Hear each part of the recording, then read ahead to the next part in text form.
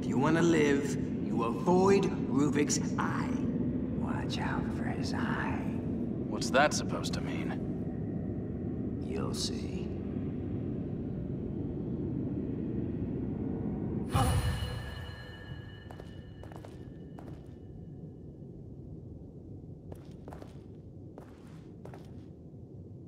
Poor guy. Rest in peace.